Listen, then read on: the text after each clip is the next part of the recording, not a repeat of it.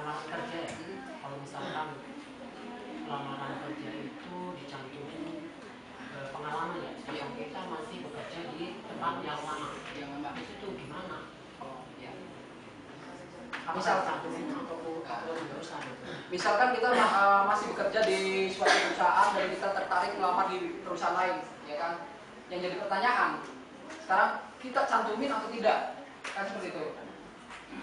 Saran saya cantumin Cantumin. eh, tadi kan kalau misalnya dicantum cantumin kan harus ada apanya itu ada semacam dari perusahaannya gitu kan oh Nah, iya iya iya Papirnya. Nah, misalnya seperti itu, sedangkan itu kan kan nggak mungkin banget gitu. ya ya mungkin iya ya nggak mungkin ya kita minta sedangkan status kita masih bekerja di situ kecuali kita sangat dekat sama ARD-nya ya kan Iya. atau kecuali kita dekat sama yang pegang stempelnya kan kasusnya seperti itu nggak nggak jadi masalah. Sih sebenarnya cantumin aja di daftar riwayat hidupnya.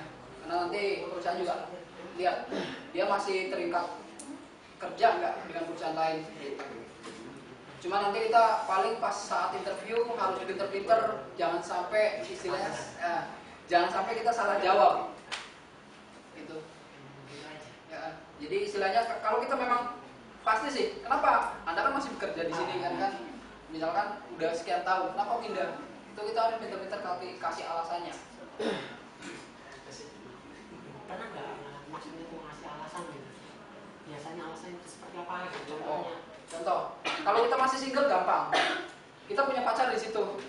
Sedangkan perusahaan tersebut nggak memperbolehkan pasaran atau apalah.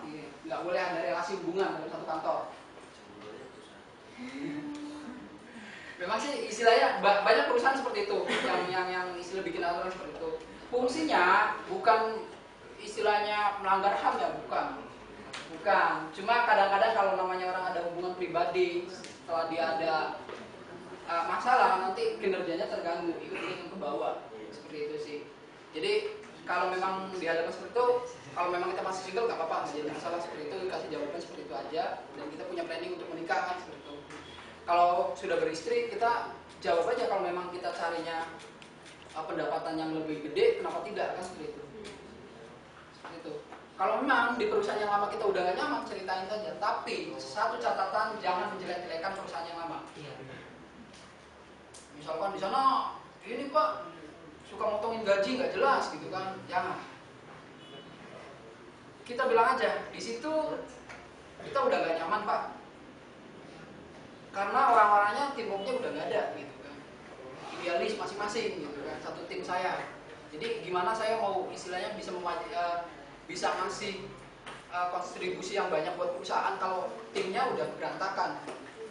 Seperti itu